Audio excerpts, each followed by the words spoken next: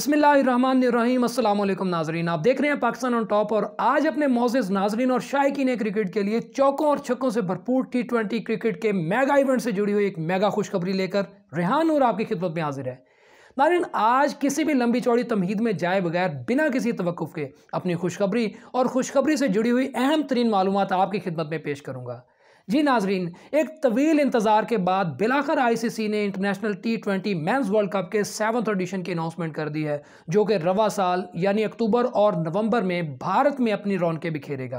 اور ناظرین، چونکہ یہ ورلڈ کپ دو ہزار سولہ کے بعد پانچ سال کے وقفے کے بعد منعقد کیا جا رہا ہے، اس لحاظ سے بھی ایک تاریخی ٹورنامنٹ کہلائے گا۔ اور اس مرتبہ اسے مزید کانٹے دار اور پرجوش بنانے کے لیے اس میں چھ نئی ٹیموں کو بھی ایڈ کیا گیا ہے۔ اس کے علاوہ اس کی دیگر تفصیلات اور ڈیٹیلز کی طرف بڑھنے سے پہلے آپ کو تھوڑا سا یاد کروا دینا چاہتا ہوں کہ آپ دیکھ رہے ہیں پاکستان آن ٹاپ اور میں ہوں ریحان نور اور اگر آپ ہمارے خوشخبری اور معلومات سے بھرپور اس چینل پر نئے ہیں اور آپ نے ابھی تک پاکستان آن ٹاپ کو سبسکرائب نہیں کیا تو ابھی آپ اپنی اسکرین کے رائٹ باٹم میں سرخ رنگ کے سبسکرائب کے بٹن کو دبا دیجیے اور اس کے ساتھ موجود گھنٹی کے بٹن کو بھی ہلکا سا ٹچ کر دیجیے تاکہ آپ کا میرا خوشخبری اور معلومات کا یہ سلسلہ چلتا رہے انشاءاللہ واپس آتے ہیں اپنی آج کی خوشخبری اور خوشخبری سے جڑے ہوئے معلومات کے بقیہ حصے کی طرف۔ ناظرین، رواں سال اکتوبر اور نومبر نومبر دو ہزار اکیس میں منعقد ہونے والا I C C T twenty world cup اب تک کے کھیلے گئے تمام ٹی ٹوینٹی ورلڈ کپس کا سیونتھ آڈیشن ہے، جسے انڈیا ہوسٹ کرے گا۔ اس seventh edition I C C T twenty world cup کی تمام ڈیٹیلز، جیسے کہ historical views, schedules, teams,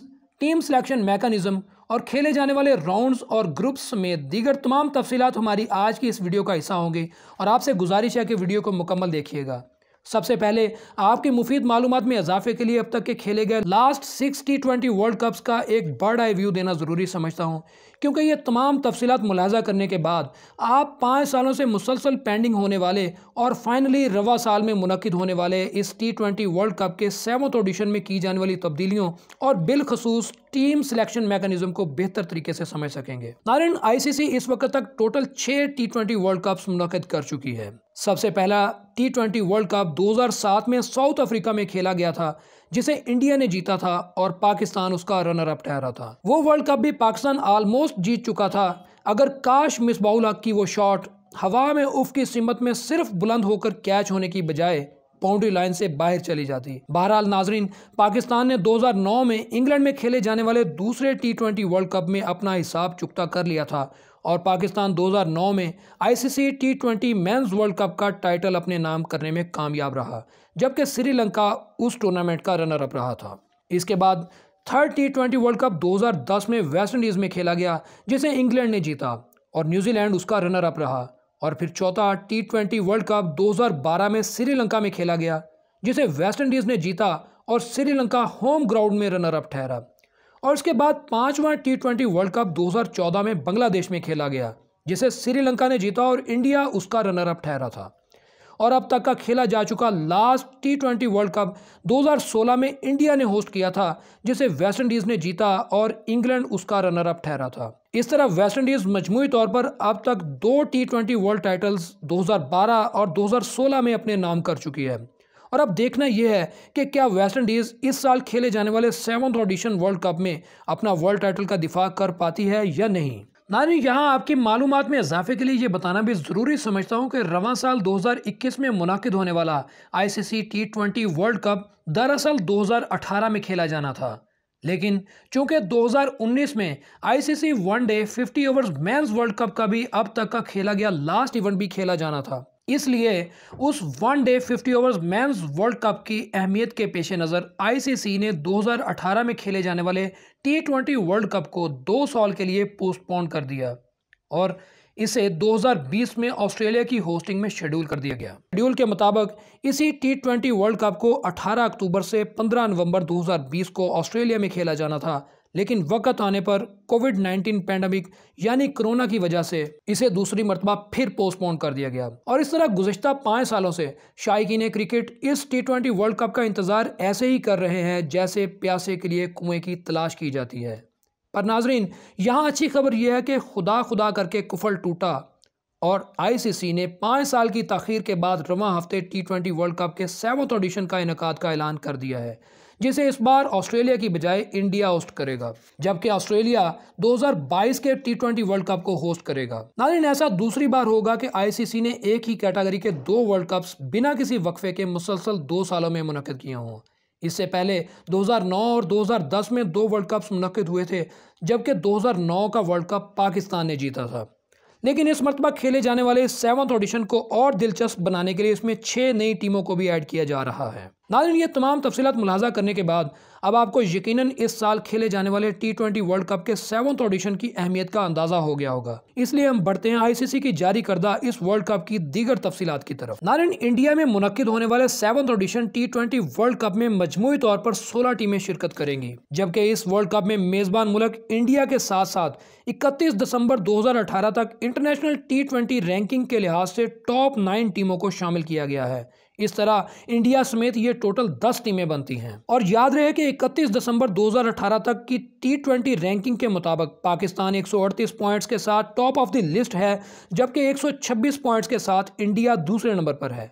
نارن، ان ٹاپ ٹین ٹیموں کے علاوہ چھ نئی ٹیمیں بھی ورلڈ کپ کوالیفائنگ راؤنڈ سے کوالیفائی کر کے آگے آئی ہیں۔ اس طرح مکمل طور پر ان سولہ ٹیموں کی تفصیل کچھ اس طرح سے ہے۔ انڈیا جو کہ ہوسٹنگ کنٹری ہے، اس کے بعد پاکستان، جو کہ پوائنٹ سکورنگ کے لحاظ سے نمبر ون پر ہے۔ اس کے بعد Australia, England, South Africa New Zealand, West Indies, Afghanistan, Sri Lanka اور بنگلہ دیش ہیں۔ اور ان دس ٹیموں کے علاوہ چھ نئی ٹیمیں جو ورلڈ کپ کے لیے کوالیفائنگ راؤنڈ سے کوالیفائی کر کے آگے آئی ہیں، ان کے نام بھی کچھ اس طرح سے ہیں۔ Netherland, Papua New Guinea, Ireland Namibia Scotland اور عمان۔ نارن یہ ہیں ان ٹوٹل سولہ ٹیموں کے نام اور تفصیلات جو اس ٹی ٹوئنٹی ورلڈ کپ میں شرکت کر رہی ہیں۔ اب ہم بڑھتے ہیں اس ٹی ٹوینٹی ورلڈ کپ کے میچز اور راؤنڈز کی دیگر تفصیلات کی طرف۔ نارن مجموعی طور پر اس میگا ایونٹ ورلڈ کپ کو چار سٹیجز میں تقسیم کیا گیا ہے۔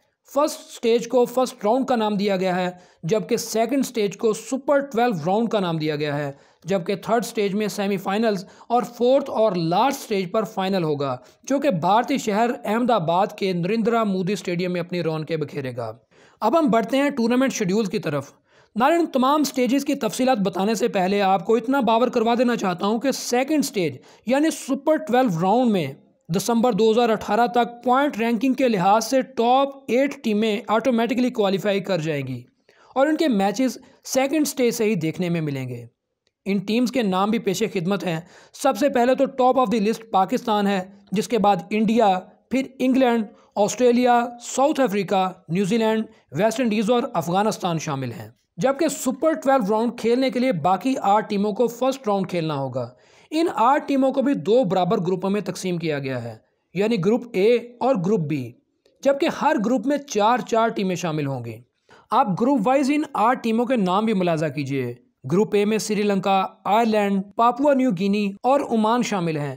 جبکہ گروپ بی میں بنگلہ دیش نبیبیا نیدرلینڈ اور سکاٹ لینڈ شامل ہیں۔ نارین اس طرح ہر ٹیم اپنے گروپ کی دوسری ٹیم کے ساتھ ایک ایک میچ کھیلے گی، جس کے بعد دونوں گروپ سے جیتنے والی دو دو یعنی ہر گروپ کی top two teams super twelve round کے لیے کوالیفائی کریں گی اور اب ہم بڑھتے ہیں سیکنڈ سٹیج یعنی سپر ٹویلو راؤنڈ کی طرف۔ نارین جیسا کہ میں آپ کو آلریڈی بتا چکا ہوں کہ سپر ٹویلو راؤنڈ میں آٹھ ٹیمیں تو وہ ہیں جو اپنی رینکنگ بیس کے لحاظ پر ڈائریکٹ کوالیفائی کر کے آگے آئی ہیں۔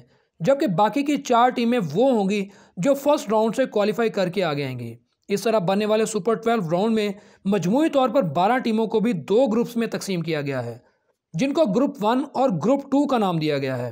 ہر گروپ میں چھ چھ ٹیمیں شامل ہوں گی اور ہر ٹیم اپنے گروپ کی دوسری ہر ٹیم کے ساتھ ایک ایک میچ کھیلے گی۔ نارن ہر گروپ کی چھ میں سے چار چار ٹیمیں جو رینکنگ بیس پر کنفرم ہو چکی ہیں، ان کے نام اور تفصیل درج ذیل ہے۔ گروپ ون میں آسٹریلیا پاکستان نیوزی لینڈ اور ویسٹ انڈیز کے علاوہ باقی دو ٹیمیں فرسٹ راؤنڈ کھیل کر آگے آئیں گی اسی طرح گروپ ٹو میں انڈیا، ساؤتھ افریقہ، انگلینڈ اور افغانستان کے علاوہ باقی کی دو ٹیمیں بھی فرسٹ راؤنڈ کھیل کر آگے آئیں گی۔ اس کے بعد تھرڈ سٹیج یعنی سیمی فائنلز کی باری آئے گی، جو کہ سپر ٹویلو راؤنڈز کے دونوں گروپس میں سے جیتنے والی دو دو ٹیمیں، جنہیں ہم ٹاپ فور بھی کہہ سکتے ہیں، ان کے درمیان بالترتیب گیارہ اور بارہ نومبر کو سیمی فائنلز کھیلے جائیں گے۔ اس طرح کل ملا کر تیرہ نومبر دو ہزار اکیس کو احمد آباد کے نریندرا مودی اسٹیڈیم میں ہم اس تاریخی ورلڈ کپ کا فائنل ٹاکرا دیکھیں گے اور انشاءاللہ انشاءاللہ انشاءاللہ پاکستان دوسری مرتبہ I C C T twenty world champion کا ٹائٹل اپنے نام کرے گا۔ ناظرین، مجموعی طور پر اس ورلڈ کپ میں پینتالیس میچز کھیلے جائیں گے، جن میں فرسٹ راؤنڈ میں بارہ، سپر ٹویلو راؤنڈ میں تیس اور دو سیمی فائنلز اور ایک فائنل ہوگا۔ آپ ان تمام میچز کا ڈیٹیل شیڈیول بھی اپنی سکرین پر ملاحظہ کر رہے ہیں۔ یہاں میں آپ کی سہولت کے لیے اس ترتیب میں پائے جانے والے پاکستان کے میچز کی تاریخ اور تفصیل بھی بتا دیتا ہوں۔ Team Pakistan super twelve round میں ٹوٹل پانچ میچز کھیلے گی اور پاکستان اپنا پہلا میچ چوبیس اکتوبر کو آسٹریلیا کے خلاف کھیلے گا، جبکہ دوسرا میچ انتیس اکتوبر کو فرسٹ راؤنڈ سے کوالیفائی کر کے آنے والی ٹیم کے ساتھ کھیلا جائے گا۔ اسی طرح تیسرا میچ اکتیس اکتوبر کو نیوزی لینڈ کے خلاف کھیلے گا، جبکہ چوتھا میچ تین نومبر کو ویسٹ انڈیز کے خلاف کھیلے گا۔ اور سپر ٹویلو راؤنڈ کا پانچواں اور آخری میچ پاکستان چھ نومبر کو فرسٹ راؤنڈ سے کوالیفائی کر کے آنے والی دوسری ٹیم کے خلاف کھیلے گا۔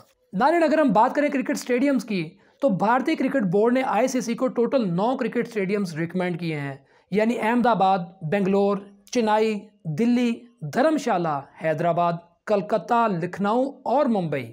لیکن دوسری طرف، بھارت میں کرونا کی صورتحال بھی اس وقت انتہائی گمبھیر حالات میں داخل ہو چکی ہے۔ اس لیے کون سے اسٹیڈیم میں کون سا میچ کھیلا جائے گا، فی الوقت ہم آپ کو یہ تفصیلات میسر نہیں کر سکتے۔ لیکن اس بات کا فیصلہ کرنے کے لیے چھبیس اپریل کو انٹرنیشنل کرکٹ کونسل یعنی آئی سی سی کی انسپیکشن ٹیم بھارت کا دورہ کر رہی ہے، جس کے بعد ہی یہ کنفرم ہو سکے گا کہ کون سے اسٹیڈیم میں کون سا میچ کھیلا جائے گا۔ لیکن فائنل کا وینیو کنفرم ہے، جو کہ تیرہ نومبر کو بھارتی شہر حیدرآباد کے نریندرا مودی اسٹیڈیم میں کھیلا جائے گا۔ جبکہ اپنے ناظرین اور کرکٹ شائقین کی دلچسپی کے لیے ایک بات اور بھی بتانا چاہتا ہوں کہ بھارت نے پاکستانی ٹیم کو ویزا دینے کی منظوری دے دی ہے۔ بھارتی میڈیا کے مطابق پاکستانی شائقین اور ہمارے میڈیا کو ویزا دینے کا فیصلہ بعد میں ہوگا۔ اور ناظرین، پاکستان کرکٹ بورڈ کے چیئرمین احسان مانی نے ویزوں کے اجراء کے اس معاملے پر تحفظات کا اظہار کرتے ہوئے گزشتہ ماہ آئی سی سی کو ایک خط لکھا ہے، جس میں انہوں نے اس بات کو باور کروایا ہے کہ اگر بھارتی کرکٹ بورڈ پاکستانی کرکٹ ٹیم کے ساتھ ساتھ ہمارے شائقین اور ہمارے میڈیا کے لیے ویزوں کے اجراء میں آسانیاں نہیں پیدا کر سکتا تو آئی سی سی اس ٹی ٹوینٹی ورلڈ کپ کو متحدہ عرب امارات میں منتقل کر دے۔ نارین ہماری دعا ہے کہ اللہ پاک تیرہ نومبر کو ہونے والے اس ٹی ٹوینٹی ورلڈ کپ کے فائنل ٹاکرے میں انشاءاللہ انشاءاللہ پاکستان کو فتح یاب کرے گا۔